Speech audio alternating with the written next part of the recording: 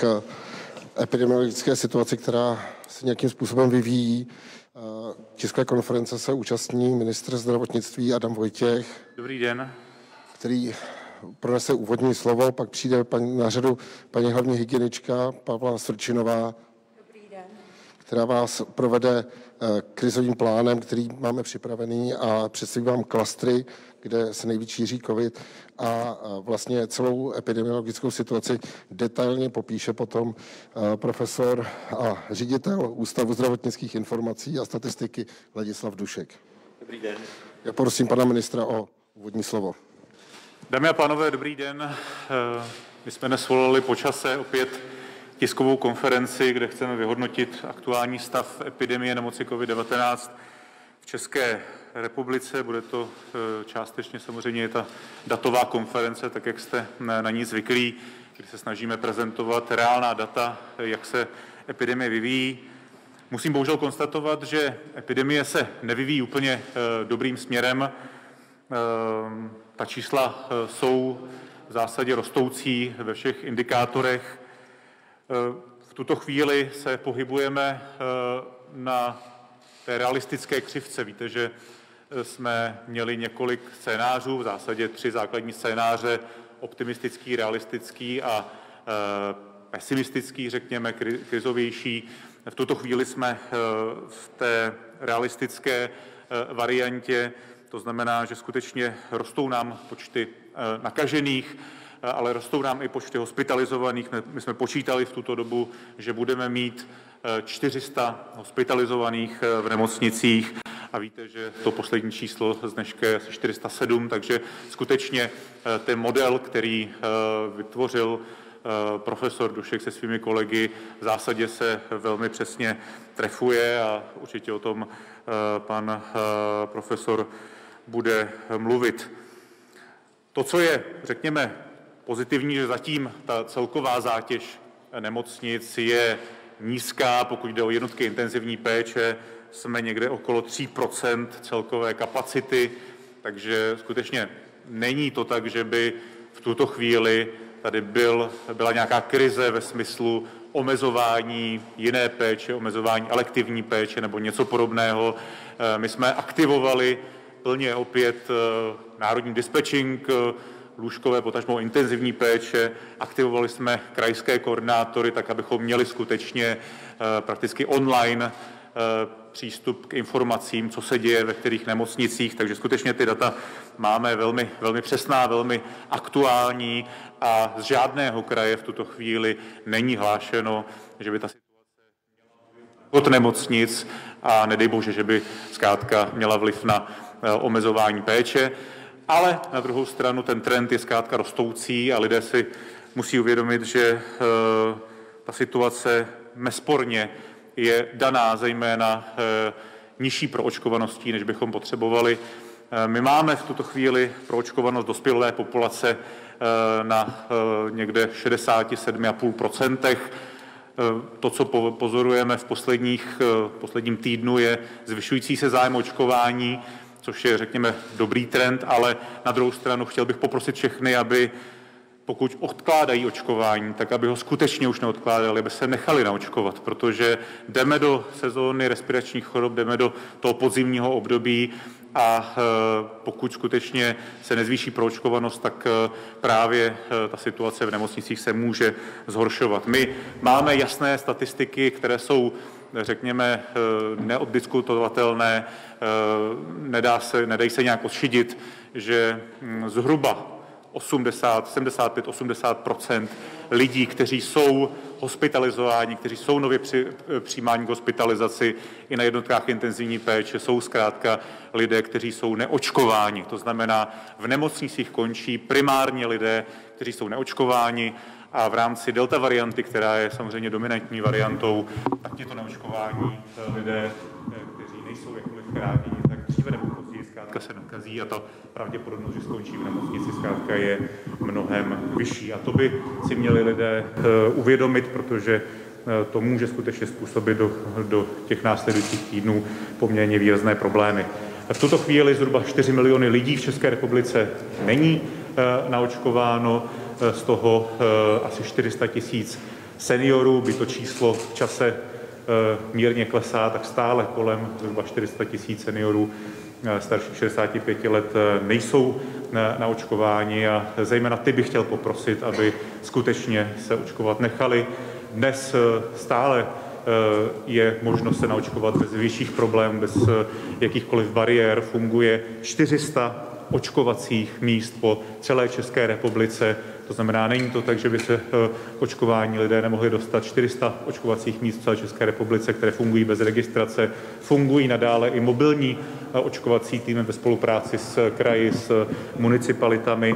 Samozřejmě očkují i praktičtí lékaři, jak eh, tedy ty nově očkované, ty prvovakcinace, tak i třetí dávky to, co je pozitivní, že se nám podařilo hlavně zdravotním pojišťovnám již dotáhnout eh, zakázku eh, na distribuci eh, vakcíny Comirnaty od firmy Pfizer, která by měla být zavážena do skladu distributora v příštím týdnu a poté v řádu dnů bude rozvážena na základě objednávek do ordinací praktických lékařů, potažmo praktických lékařů pro děti a dorost. To znamená nejpozději 25 října od eh, toho dalšího pondělí by již eh, praktičtí lékaři měli mít k dispozici eh, a mohli by si tedy objednat vakcínu od firmy Pfizer, jak znovu říkám na prvou vakcinace, tak samozřejmě i na třetí dávky, které fungují, které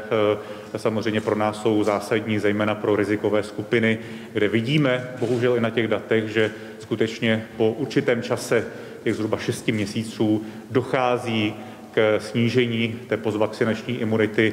Vychází to i ze všech posledních studií, eh, které ukazují, že skutečně po této době zhruba půl roku eh, ta ochrana eh, klesá, byť stále je poměrně vysoká, pokud jde o prevenci hospitalizace, ale samozřejmě člověk se může nakazit se nad něj právě po uběhnutí této doby. I proto jsme přistoupili, jak jistě víte, k tomu, že od pondělí, to znamená od 18 října zkracujeme eh, lhůtu eh, pro eh, podání té posilující dávky na 6 měsíců. Všichni, kteří se to týká, tak dostanou o tomto sms to znamená 6 měsíců po dokončení té vakcinace budou mít nárok na posilující potažmo třetí dávku a určitě velmi, velmi doporučuji všem chronicky nemocným pacientům, všem seniorům, samozřejmě zdravotníkům, Eh, pracovníkům v sociálních službách, aby tuto možnost eh, využili. Pokud jde o opatření, která my eh, v tuto chvíli chystáme a avizovali jsme je, tak vnímáme to, že, nebo já osobně, pan premiér, vnímáme to, že samozřejmě bude tady nová vládní koalice a my jsme už zahájili vlastně konzultace s jejími zástupci, panem profesorem Válkem, takže ta opatření konzultujeme společně, tak abychom, eh, řekněme, eh, našli konsenzus, protože určitě by bylo špatně, aby eh, jsme zavedli nějaká opatření, která pak případně nastupující vláda bude nějak revidovat nebo, nebo rušit. To by určitě nepřispělo k nějakému dobré komunikaci vůči, vůči veřejnosti. To, co bychom chtěli navrhnout, a čekáme v tomto směru tedy i na, eh, na stanovisko eh, budoucí vládní eh, koalice a jejich antikovid týmu, je zkrácení platnosti testů, jak u PCR testů, tak u antigenních testů. Myslíme si, že zejména v této době je to naprosto zásadní.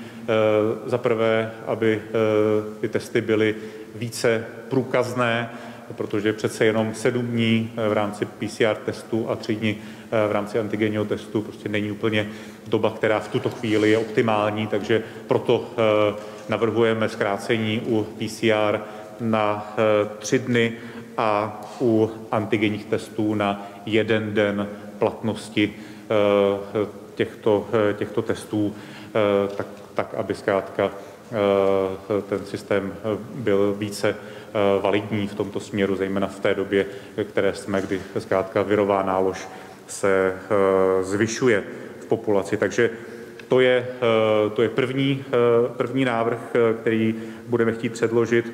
Druhý návrh chceme opět otevřít debatu o hrazení z veřejného zdravotního pojištění těch takzvaných preventivních testů.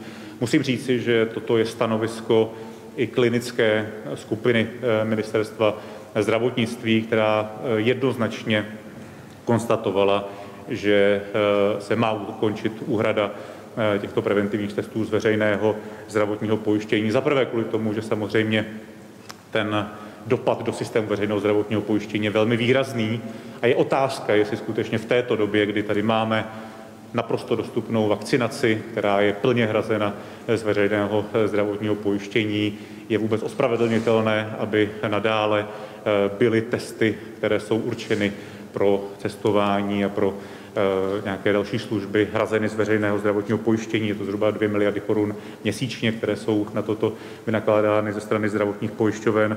Takže to je určitě něco, co taktéž eh, budeme, eh, budeme navrhovat. Další návrh, ten je, řekněme, spíše úlevou, zejména pro rodiče a pro děti ve školách, ale bude se týkat všech, a to je zkrácení doby karantén ze 14 dnů na 7 dní pokud eh, bude ta karanténa ukončena eh, negativním PCR testem. Vychází to z podnětů eh, právě zejména ve školách, kdy chceme v tomto směru trošku ulehčit dětem a jejich rodičům, tak aby nemuseli při tom pozitivním kontaktu nebo kontaktu s pozitivním být celý 14 dní v karanténě a mohli tedy ukončit po sedmi dnech negativním testem. A pak jsem eh, zadal paní eh, náměstkyni Svešinové jako hlavní hygieničce, aby hygienické stanice eh, maximálně zintenzivnily kontroly dodržování těch základních opatření, které dnes jsou platné, to znamená zejména toho systému OTN, očkování, test nebo nemoc průkazu a jejich dodržování, tedy kontroly vlastně prokazování té těchto eh, atributů, to znamená, jestli člověk je očkován, má test platný eh, a nebo prodělal nemoc.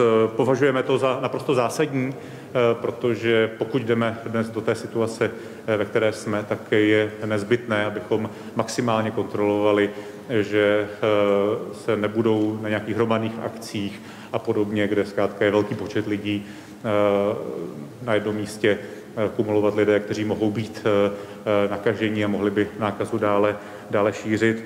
Stejně tak eh, řešíme no, otázku kontrol eh, izolací a karantén. To je také naprosto zásadní pro zvládnutí celé té situace, které čelíme. A pak samozřejmě i ochrana dýchacích cest tam, tam kde je nutné respirátory mít nasazeny. To jsou ta základní pravidla, která z našeho pohledu jsou v tuto chvíli klíčová a je třeba je dodržovat a hygienické stanice mají ode mě za úkol, aby maximálně v tuto chvíli zintenzivnili kontroly těchto základních eh, protiepidemických opatření. My v tuto chvíli nechceme přijímat žádná nová opatření, nechceme eh, v tuto chvíli zavádět nějaká, nějaké další restrikce, nechceme zavádět ani plošné testování, o tom určitě bude mluvit i paní hlavní hygienička, vychází to opět z aktuálního stanoviska klinické skupiny, která se eh, postavila proti eh, záměru nějakého plošného testování z hlediska jeho efektivity. Chceme skutečně testovat eh, mm, indikované případy lidi, kteří mají symptomy, případně kontakty v rámci epidemiologického šetření, ale nikoliv plošné testování. Ale to, co je znovu zásadní, je kontrola těch opatření, které jsou v tuto chvíli platné a na závěr opět zdůrazňuji očkování, očkování, očkování. To je to jediné řešení, dlouhodobé řešení eh, z této eh, situace. Vidíme to i v jiných zemích. Vidíte, že země jako Dánsko, Portugalsko, Švédsko a tak dále, které vlastně dosáhly eh, vysoké míry proočkovanosti, tak v tuto chvíli ruší veškerá protiepidemická opatření. My samozřejmě chceme tohoto také dosáhnout, ale nedosáhneme to bez spolupráce s občany, eh, kteří eh, se nechají naočkovat, kteří skutečně možná potom váhání, jestli ano, jestli ne, tak eh, se teď rozhodnou se nechat naočkovat, protože tak pomohou ne, nejen sobě, ale právě i nám všem, tak abychom tu situaci zvládli a zejména nemocnicím tak, aby nemocnice nebyly zahlceny, protože to je to největší riziko, které teď identifikujeme. Děkuji.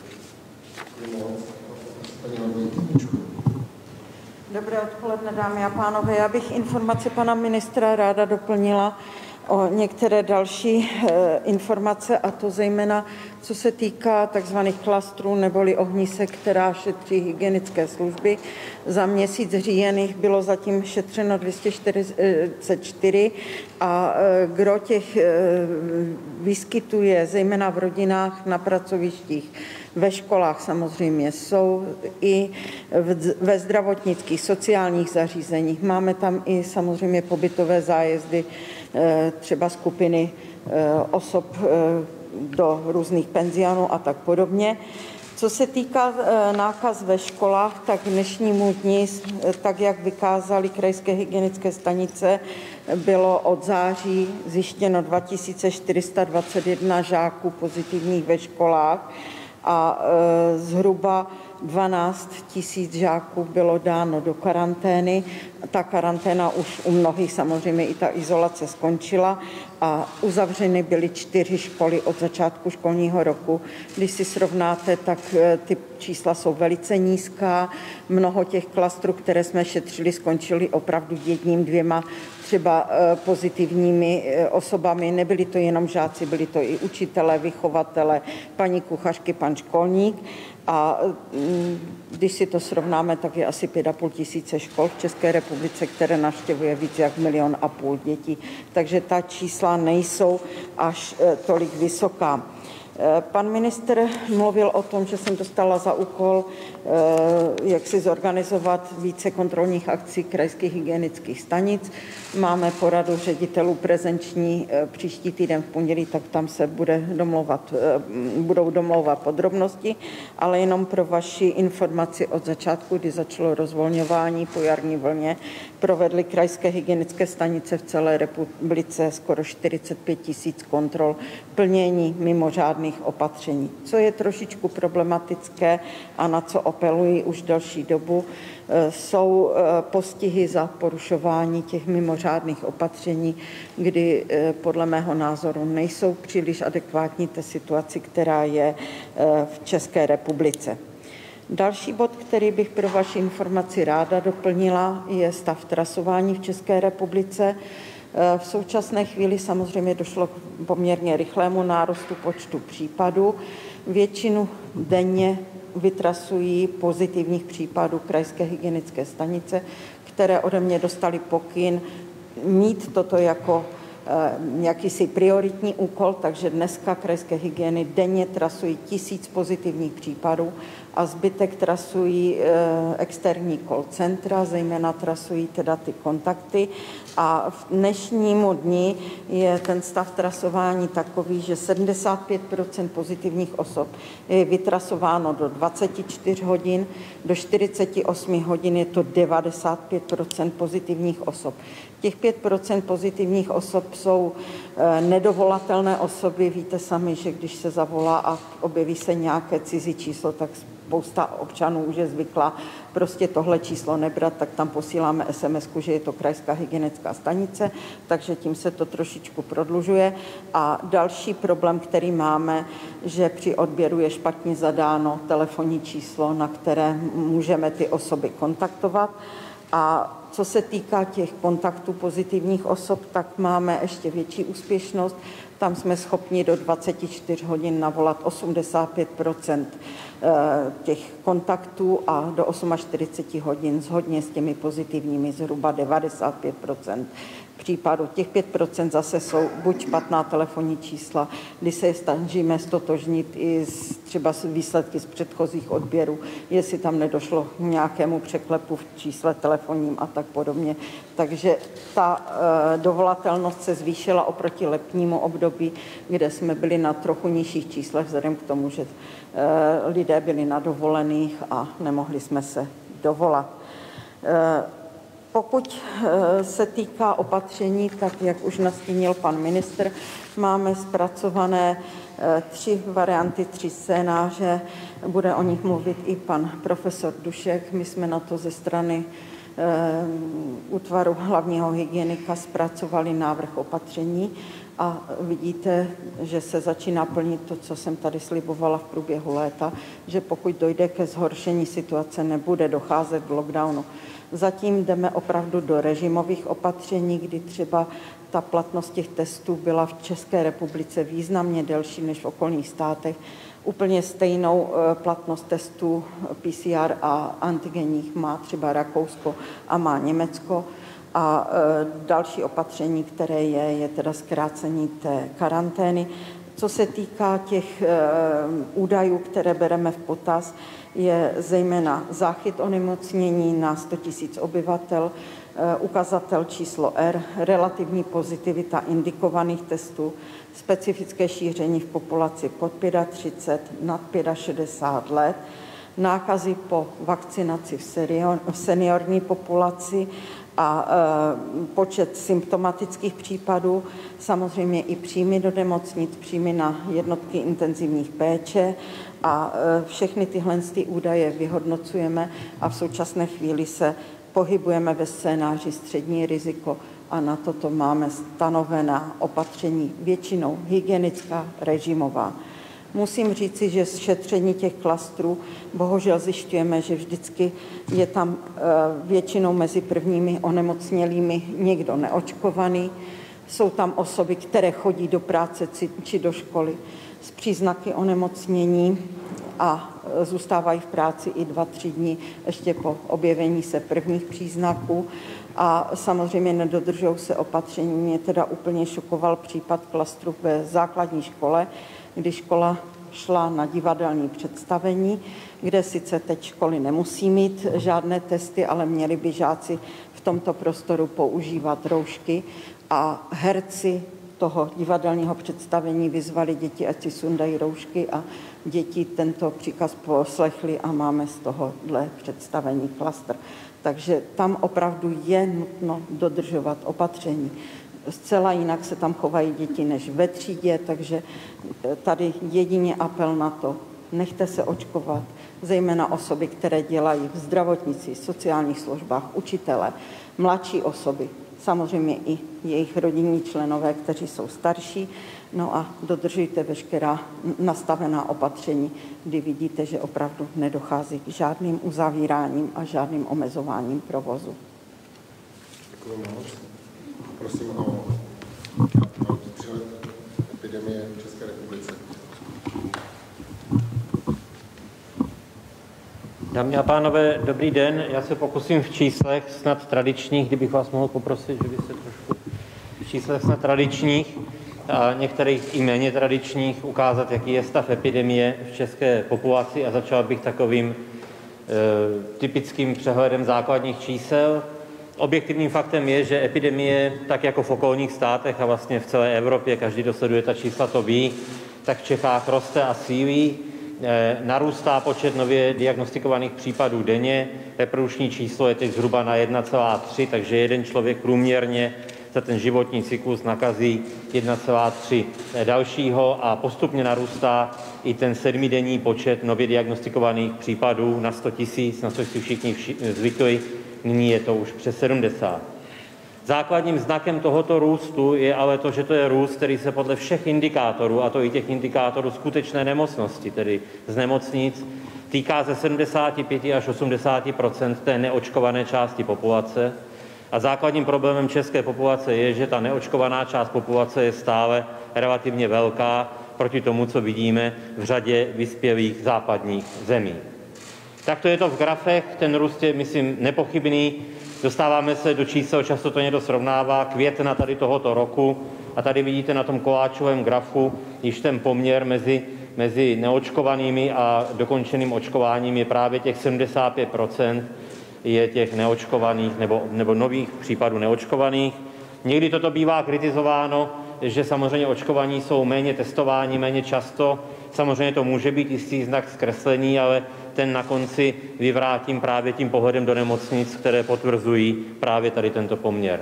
Týdenní růst té epidemie je nyní asi 30 a jak ten virus už známe, tak i kdyby se teď stal nějaký úplný zázrak, tak ten virus bude mít brznou dráhu další dva, tři týdny, to znamená, ještě to určitě nějakou dobu nevyhnutelně poroste.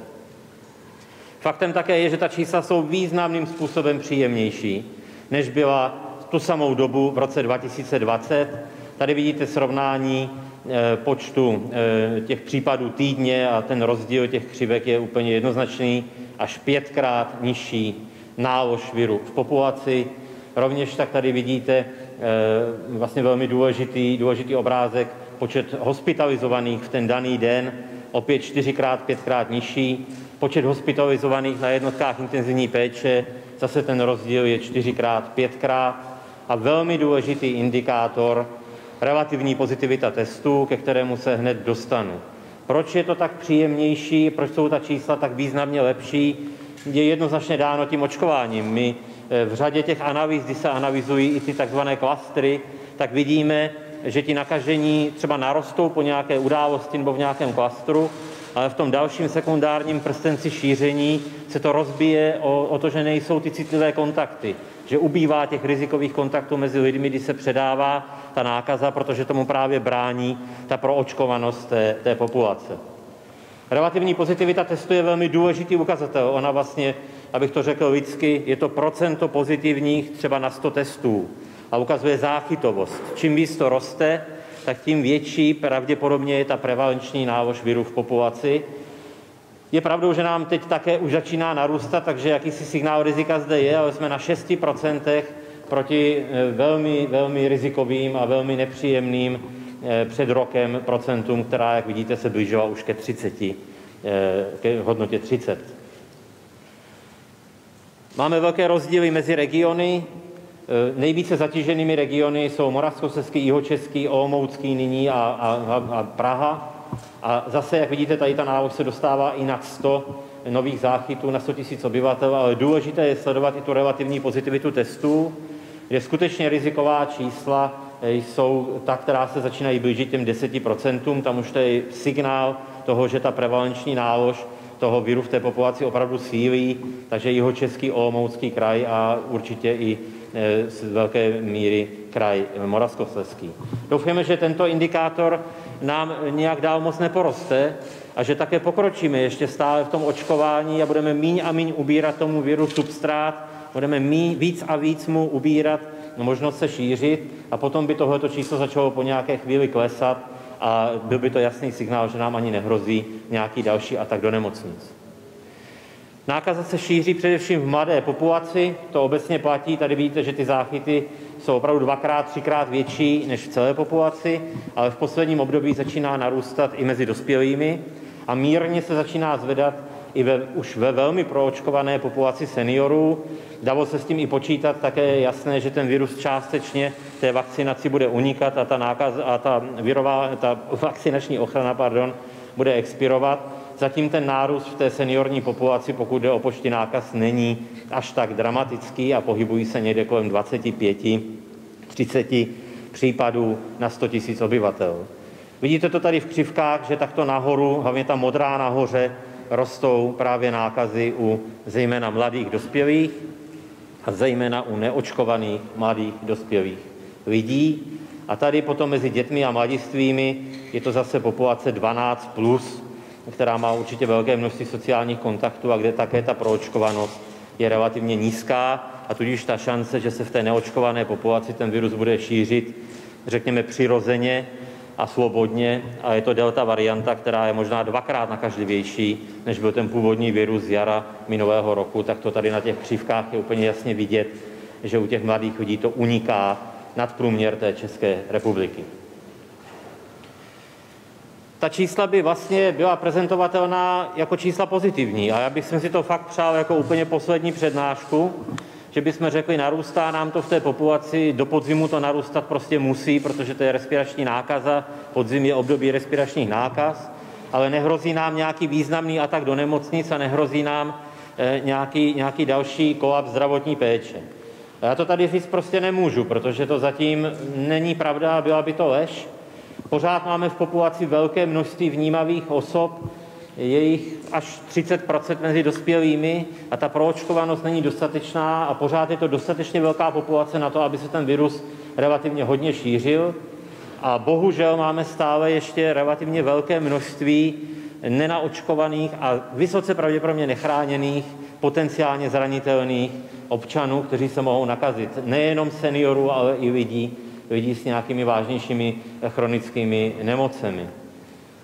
Toto je tabulka, kterou jsem neodolal, dal jsem ji sem a omlouvám se všem divákům. Ona asi nemůže být viditelná a říká, že těch seniorních skupin nebo seniorů a po seniorních věkových skupin, které nejsou očkovány, což víme na 100%, a nemají záznam o prodělané nemoci, tak těch lidí v těchto skupinách je více než 412 tisíc, 60 plus a 280 tisíc 65 let plus.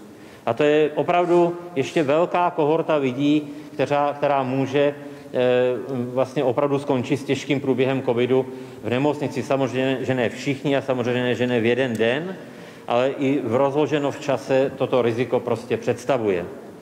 To riziko je o to větší v těch oblastech, které tady vidíte zakroužkované v České republice. Dovolím si jmenovat některé oblasti Moravskoslezského kraje, kde na prvním místě je to Jablunkovsko, potom oblasti Zlínského kraje, kde jsou, jsou velké obce s rozšířenou působností nebo i části okresů, kde je větší množství obcí, které jsou kumulovány vedle sebe a naraz jsou málo proočkovány. Tam v těch pozdních zimních měsících může opravdu docházet k nepříjemnému šíření té nákazy a bohužel se domnívám, že v tom Moravskoslezském kraji to už teď nyní pozorujeme, včetně nárůstu počtu hospitalizovaných. A toto je snad srozumitelně a doufám dobře viditelný obrázek pro očkovanosti, řekněme, po jednotlivých věkových kategoriích.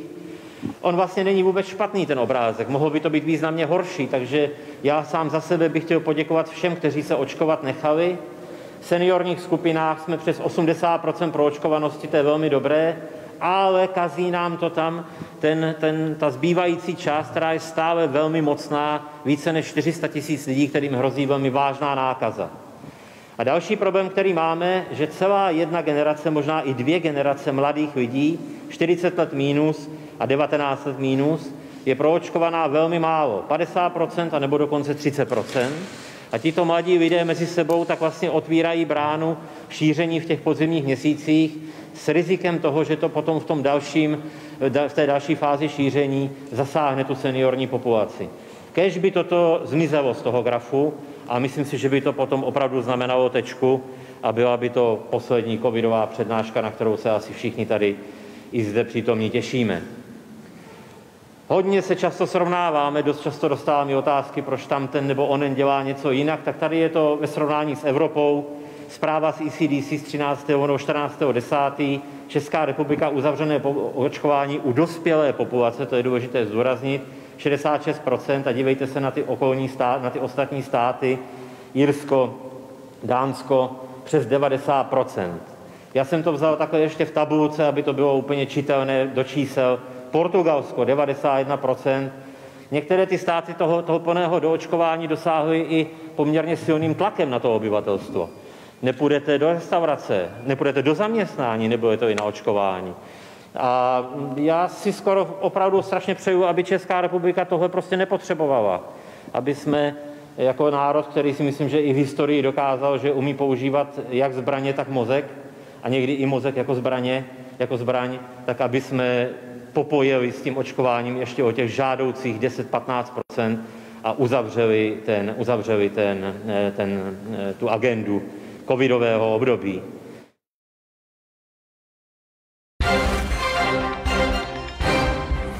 Pojďme k aktuálnímu dění, které souvisí s návštěvou předsedy sněmovny